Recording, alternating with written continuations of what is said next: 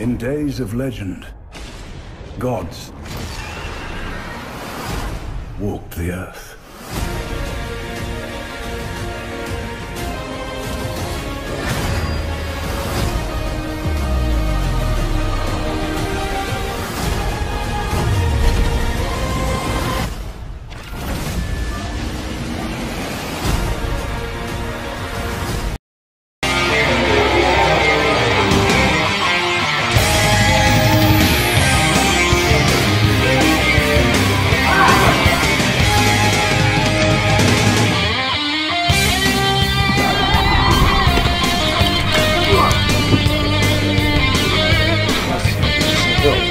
Alright.